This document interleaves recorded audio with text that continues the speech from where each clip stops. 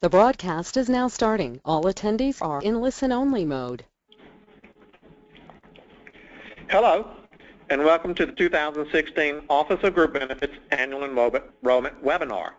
My name is Dean Moberly, and it is our hope that the information contained in this webinar is helpful to you and your family in making an informed decision as far as your health care needs for the next plan year. So let's briefly talk about some important facts. If you would like to remain in your current OGB health plan with the same covered dependents for the 2016 plan year, you need do nothing this year. You're happy with the plan you're in. You're going to continue with the same level of coverage as far as your dependents. You need do nothing. Your coverage will transfer from 2015 to the 2016 plan year. But please keep in mind that if you are enrolled in one of our HSA plans or if you're in our FSA plans, you'll need to renew those by the date and update your contributions for 2016. Next important fact is that there is no copay, coinsurance deductibles, or out-of-pocket maximum changes for our Blue Cross and Blue Shield plans this year. So everything remains the same in the Blue Cross plans. Active employees, if you're going to make a change, you must do so on our new online portal or through your human resource department.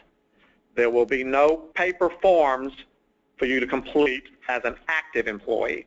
Retirees, you may use our portal. You can write directly to the Office of Group Benefits or the new booklets that were mailed do have a form contained in them. So these are our timelines. October 1st, the enrollment will begin. It will end on November the 15th, and the new plan year will begin January 1st. All right, during the annual enrollment, you can enroll in a, new, in a different health plan. You can apply for life insurance. You can add or delete dependents. You may discontinue OGB coverage completely. You may determine the amount of your HSA, your health savings account contribution, and that option is only for active employees. And you may enroll, renew, or change your contribution to the flexible spending arrangements. That is also only available to active employees and rehired retirees. So your plan options this year. We will again offer our Pelican plans. The um, Pelican plans offer lower premiums in combination with an employer contribution to create the most affordable options for enrollees in 2015. Pelican plans offer coverage within the Blue Cross and Blue Shield nationwide network, as well as out-of-network coverage in both of our Pelican plans. So first plan in the Pelican is the Pelican HRA 1000. This plan includes an $1,000 annual employer contribution for employee-only plans and a $2,000 for family plans in a health reimbursement arrangement that can be used to offset deductibles and other out-of-pocket medical, non-pharmacy, and costs throughout the plan year. The funds are available as long as you remain enrolled in the Pelican HRA 1000 plan. Any unused funds will accrue to the in-network out-of-pocket maximum, and that amount is going to be available in the chart coming, and allows the plan members to build up the balance that, co for, that cover eligible medical expenses. So in this plan, the employer contribution for a single is $1,000. The employer contribution for employee plus one or more is $2,000. The deductibles are as seen on the screen, in-network and out-of-network. Your out-of-pocket max, in-network and out-of-network are noted on the screen, as well as the coinsurance for in-network and out-of-network. Prescription drugs in this plan work, uh, work exactly like they are currently working. One of your, pres your prescriptions will be on one of these four tiers. You'll pay the appropriate copay to the right. Once you pay the $1,500 in that plan year, then your copays go to the lower copays on the bottom of the screen. The account, the HRA account is monitored by Blue Cross. So when a claim is presented to Blue Cross, Blue Cross calculates what your out-of-pocket cost would be for that claim. If there's money in your HRA account, Blue Cross will pay your cost out of the HRA account. Once your account is exhausted, then you would have to come out of pocket for those costs. It's also important to remember that in this plan, only the health side, the left side of the screen, applies to the HRA contribution. The prescription drugs are not eligible to be paid out of your HRA account. Second Pelican plan is the Pelican HSA 775. This plan offers the lowest premium in addition to a health savings account funded by both the employers and the employees. Employers contribute $200, then they match the employee contribution up to $575. Employees can contribute additional funds on a pre-tax basis up to $3,350 for an individual or $6,750 for a family to cover out-of-pocket medical and pharmacy costs unused funds accrued every year with no limit. So there's no limit that this account can accrue to. And unlike the previous Pelican HRA 1000, the Pelican HSA 775, it's your account. You maintain it, you keep it. If you retire, you terminate service with the state, you go to an agency that may not participate in the Office of Group Benefits, then the, the account goes with you.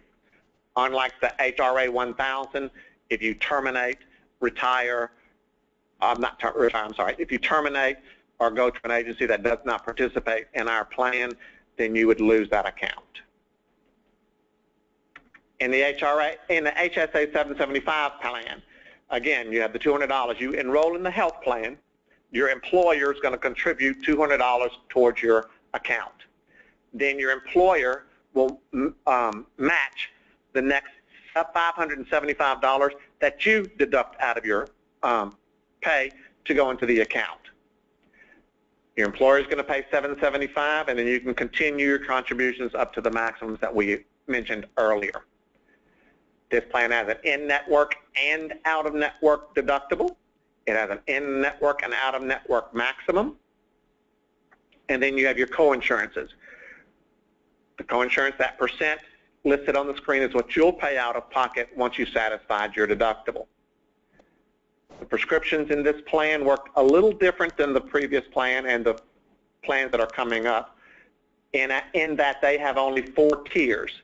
So the prescription you have will be on one of these tiers. You'll pay the appropriate copay to the right that's listed on the screen.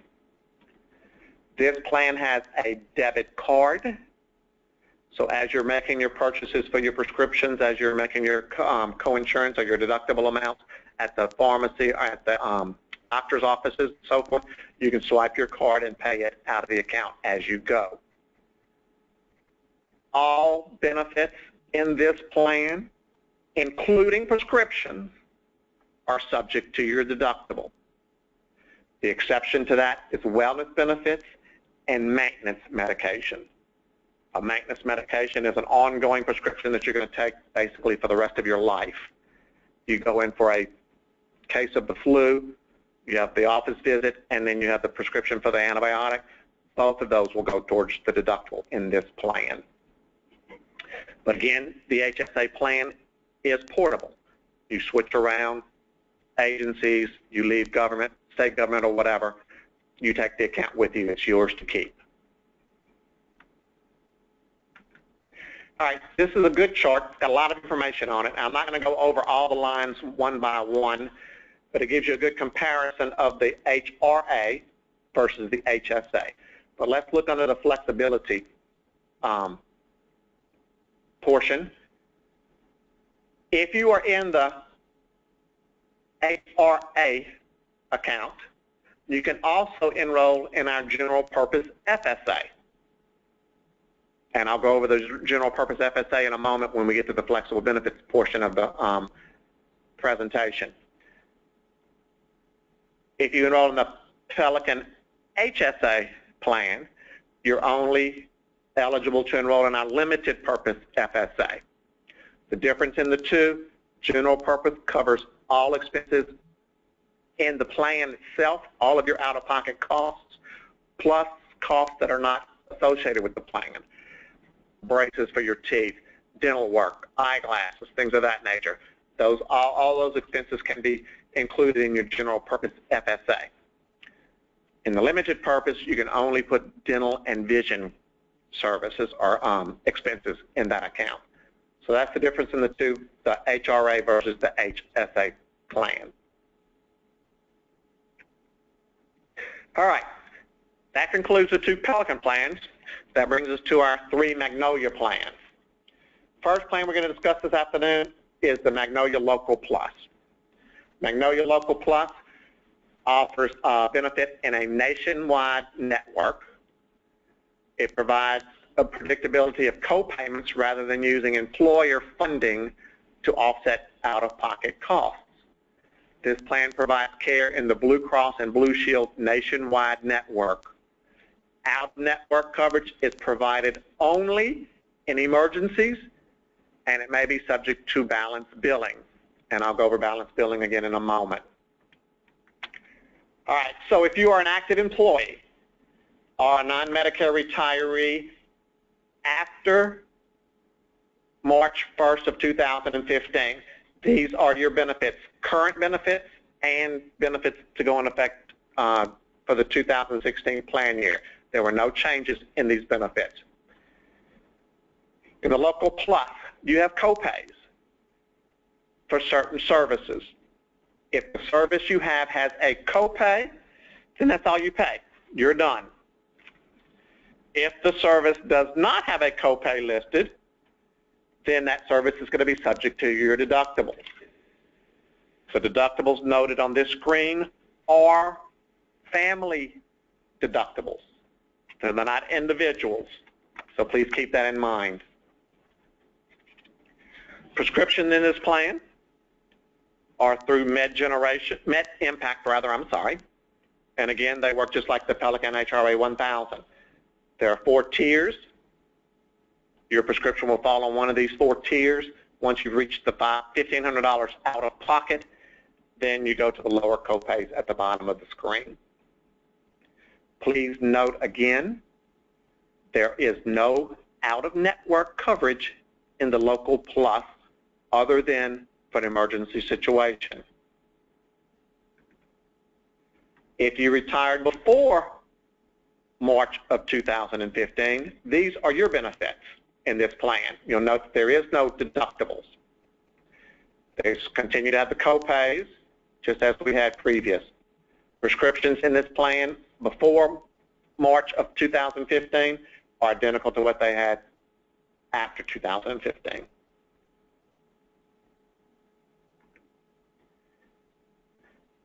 Our next plan is the Magnolia Local um, Open Access, I'm sorry.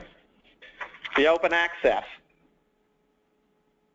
It differs from the other Magnolia plans in that the member enrolled in the Open Access will not pay co-payments at physician's visits. Instead, once a member's deductible is, um, for allowable charges is met, he or she will pay 10% of the allowable amount for in-network care and 30% of the allowable amount for out-of-network care out-of-network care may be balance billed.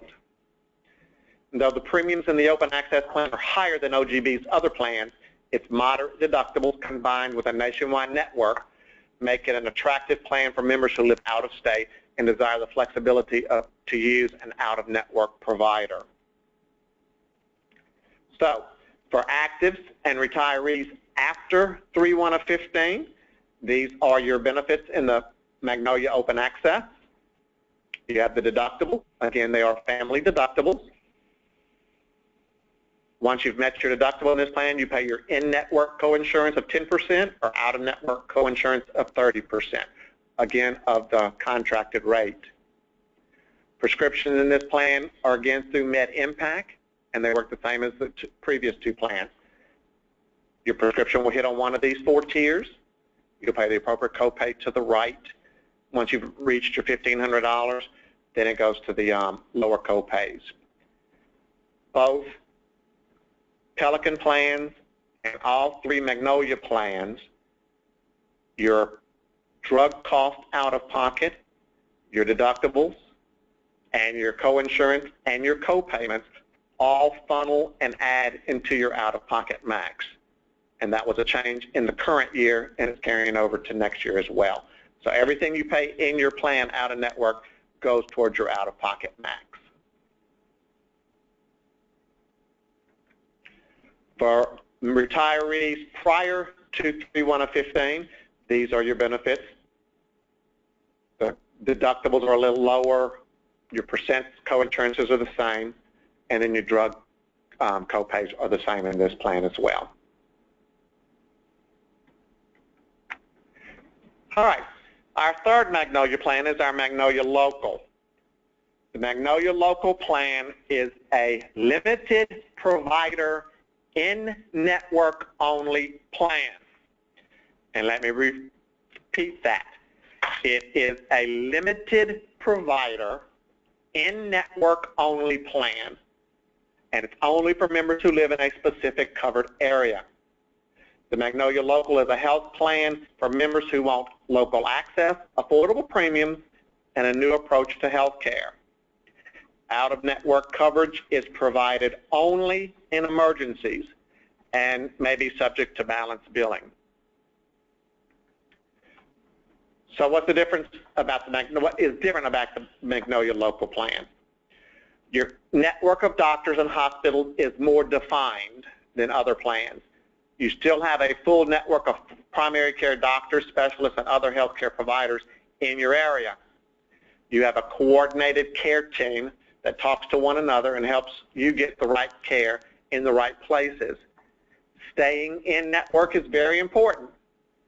Your residence will determine which Magnolia local network you will, you will use. And before you choose the local plan, please consider which doctors, clinics, hospitals do you use most? Are the providers in the limited network?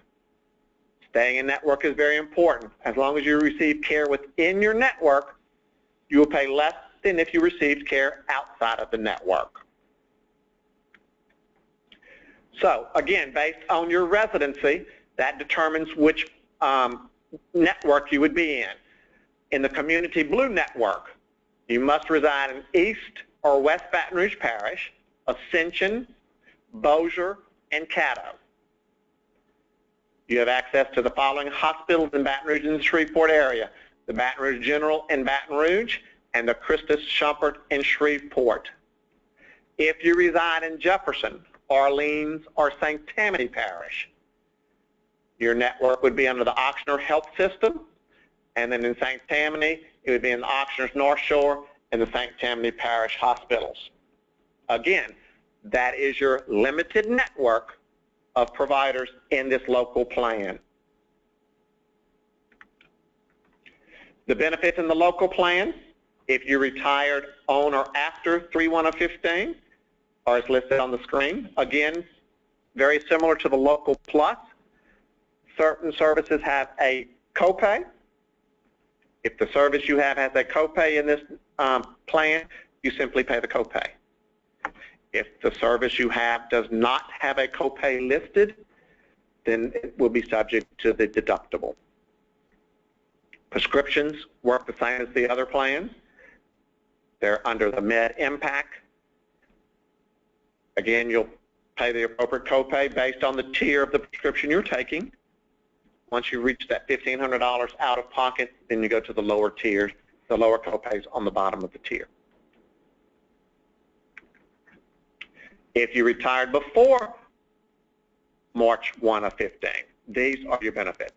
And basically the difference is that there is no deductible for retirees prior to March and lower out-of-pocket max prescriptions, retirement before 3-1 of 15 are identical to the previous screen.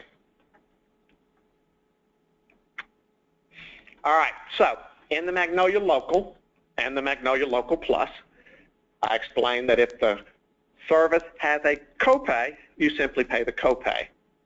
When that service no longer has a copay listed, then those, those services are subject to your deductible. So this slide just gives you a few of the more common copay services.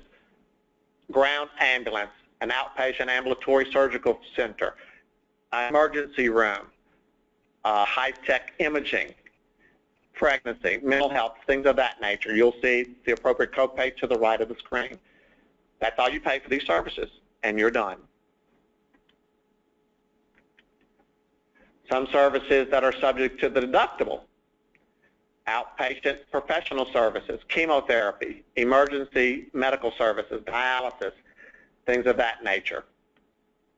Those are subject to your plan year deductible because they have no copay. All right, that brings us to our final plan, which is our Vantage Medical Home HMO.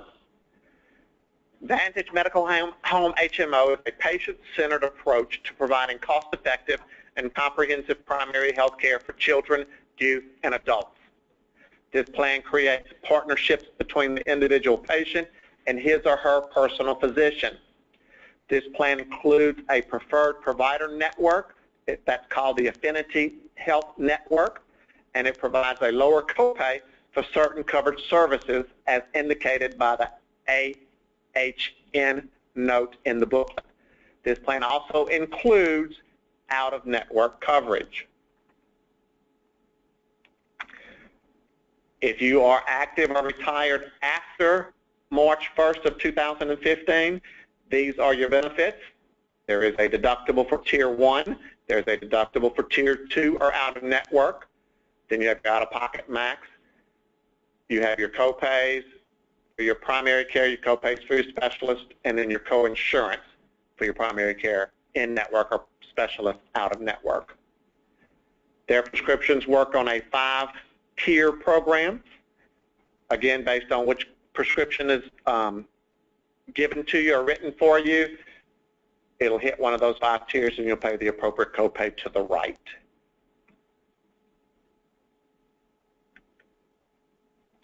If you retired before March 2015, this slide outlines your benefits in the Vantage Medical Home HMO.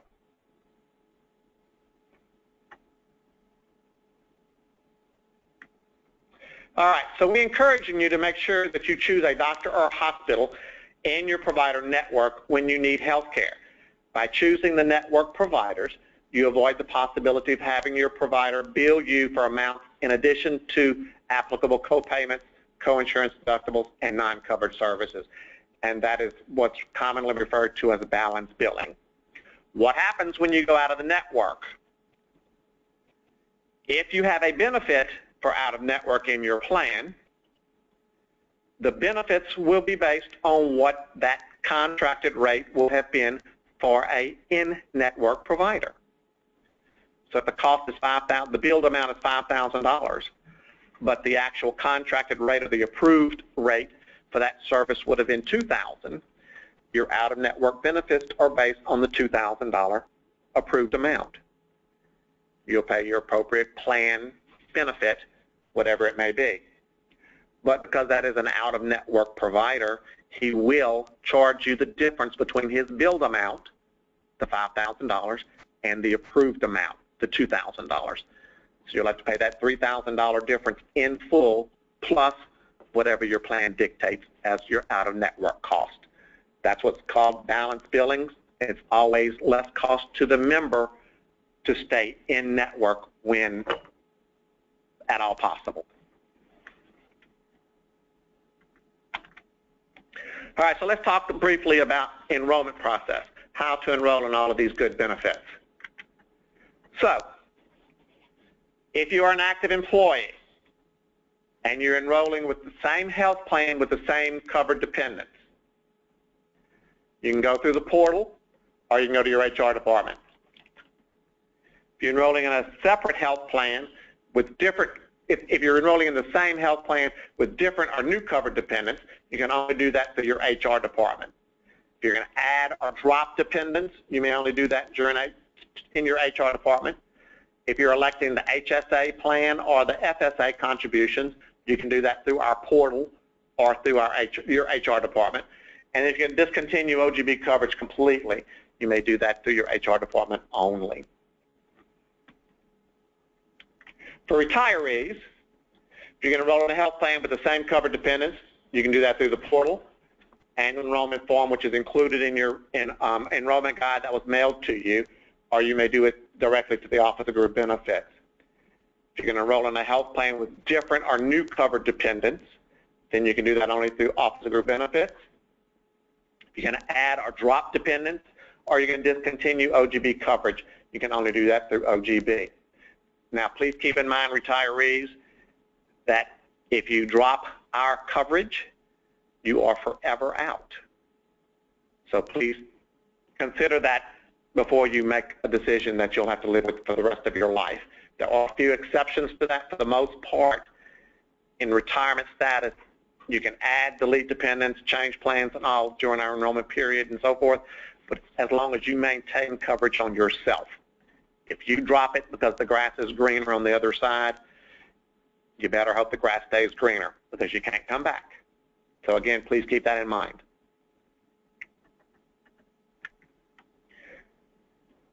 All right, if you wish to use our annual enrollment portal, you can go to our website at www.groupbenefits.org, and it will be available uh, October 1st through the November 15th deadline. You will take your current Blue Cross or Vantage ID card and enter the ID number as indicated on the front of the card and then you're going to put the last four digits of your social security number. Once that information is input into the portal, it'll populate what plans are available to you. You make your selection. If you're going to go into the HSA plan, you need to make that contribution amount. If you're going to re-enroll in our FSA plan, you put that contribution amount. Then you must hit submit. Please remember your option or your um, your selection goes nowhere unless you hit that submit button. Once you've hit the submit button, then it's going to give you the option to print, email, and save that confirmation page for your records, which is important. Retirees, this is a copy of the form itself that's in your enrollment guide that was mailed to you. You can go through the portal, as outlined in the previous slide, you can use this um, annual enrollment form. Some of the other benefits that we're going to offer again this year, our flex plan. Our flexible benefits plans are tax-saving benefits. They enable employees to save both state and federal income taxes on eligible payroll deductions for health care and dependent care expenses. Please keep in mind that these flexible benefit offerings are only for active employees or rehired retirees. All right, these are your options. You can enroll in the general purpose FSA. It allows you to put money pre-taxed for qualifying medical expenses for you, your spouse, and your eligible tax-dependent children. You should consider if paying out-of-pocket medical expenses such as health plan copays health plan deductibles, vision expenses, dental expenses, etc. In the limited purpose, dental and vision flexible spending arrangement allows you to pay with pre-tax dollars for dental and vision expenses for you, your spouse, and your eligible tax-dependent children while you maintain your eligibility to, to contribute to your HSA. You should consider it if you're enrolled in the HSA 775 health plan. And then the third option is your dependent care flexible spending arrangement. It allows you to pay with pre-tax dollars eligible dependent care expenses for your child or for a spouse, parent, or other dependent who's incapable of self-care. You should consider this option if you pay for your care of a spouse, eligible dependent, while you are at work. for the dependent care. Your, the submission of dependent care expenses can be reduced by signing a DCFSA recurring expense service form. Reimbursement in the dependent care account is only available to what's in the account. There is a minimum of $600 that you could put into the account. You must re-enroll every year, and then you must file an IRS Form 2441. That reoccurring expense form, it makes it easier to file a claim if your expenses stay consistent throughout the year.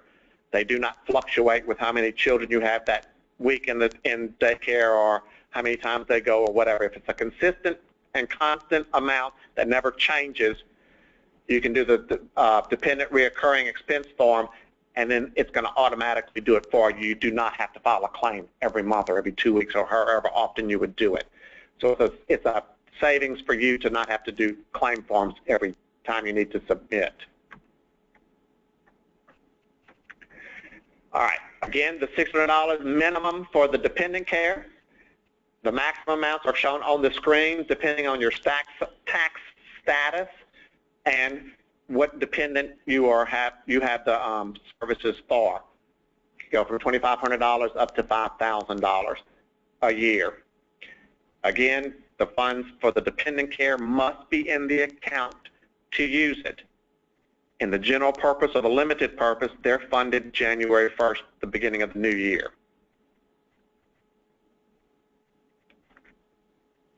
By the general purpose, for enrollment rules, and for all three, the general purpose, limited purpose, and the dependent care, you must be an active full-time employee in a participating payroll system. You can enroll during annual enrollment or after experiencing an IRS recognized qualifying event. You must re-enroll each year to continue participation and agree to pay the $36 annual administrative fee. Please keep in mind that $36 is also pre-tax so again, you won't be paying the full $36 through the year because you'll you'll um, reimburse some of that back on your taxes. There's a new eligibility rule that new hires must enroll within their first 30 days of full-time employment. Your participation will be effective the first of the following month after your first full calendar month of employment. So if you were hired on August the 20th, you've enrolled in the in one of our FSA plans within that first 30 days, your effective date for the account is October the 1st. All three FSA accounts receive a debit card, and again, that's a, a screen print of it on the um, slide. As you purchase prescriptions, as you pay for your copays, as you're meeting your deductible at the office visit, any cost for you out of pocket in the plan, you can swipe the Discover card and it will, um, the Visa card rather, and it will pay for those expenses out of your pre-tax account. The account is, the card is reloaded every year. So if you notice you're a current member, you'll notice there's an expiration date. I have exhausted my account for this year, spent all of my money, but I know that my expiration, my card does not expire for two more years. So I'm maintaining that same card until I reload it for January 1st. So always pay attention to the expiration date. If you have um, contact information for Discovery Benefits, Discovery Benefits is the, con is the company that handles our flex accounts for us for the Office of Group Benefits, and that is their contact number on the um, slide in front of you.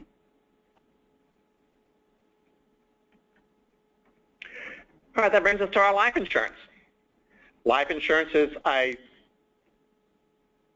option that is through Prudential, underwritten by Prudential for the state of Louisiana. Um, you can offer, we offer you a basic plan. For the employee, a basic plan is $5,000. You enrolled in that 20 years ago when you started your career with the state, it's still $5,000. It would not have increased. There are two options under the basic life for your dependents you can get $1,000 on your spouse or 500 dollars for each of your dependent children, or you can get $2,000 on your spouse and 1000 for each of your dependent children. Please keep in mind that the employee or retiree premium for your um, life insurance is paid half and half. You pay 50% and your agency, current or retired, pays 50%. For your dependents, you pay the full amount, and again, the amount that you pay depends on which option you've um, enrolled in. Our second life insurance option is our basic plus supplemental. The amount that the employee is eligible for under this life insurance um, portion is based according to your income, your salary. As your salary increases through your career, the amount of the life insurance increases as well to a maximum of $50,000. That's the maximum amount that anybody employed with um, an OGB participating employer can have in life insurance. Under the basic plus supplemental, you have two options for your dependents. Option one offers $2,000 for your spouse and $1,000 for each child. Option two, the spouse covers for $4,000 and each child is $2,000. Again, just like the basic plan, the employee pays half of your life insurance and your agency pays a half. For the dependent life, you pay the full amount. The only change in life insurance, and it's not a change this year, it's a change that happens as you age. Once you reach age 65, active or retired doesn't matter. The January 1st following your 65th birthday, the face life amount that you had at that point will be reduced by one quarter. The January 1st following your 70th birthday, it will reduce by an additional quarter. So you'll be down to half of what you started with, and then that's the last um, decrease. There will be no further decreases after that.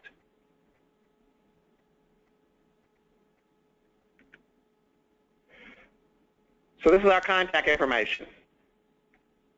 I'm sure you probably have a few questions after watching this webinar. So if you have any questions of your benefits, you can call Blue Cross. Drugs, you can call MedImpact if you're enrolled in Vantage, or if you have some issues with Discovery Benefits. Those are the contact information, or contact numbers rather, and website addresses for those four vendors. That is the contact information for the Office of Group Benefits. Our customer service number as listed. We are open from 8 to 4.30 Monday through Friday. We have recently changed locations. So we are now currently um, housed in the Claiborne building, which is located at 1201 North 3rd Street. We're in Suite G159, and then it's in Baton Rouge, and that is our zip code, in case you need to write to us. And that concludes our webinar. I hope you found this information um, helpful, and please give us a call if you have any questions. Thank you.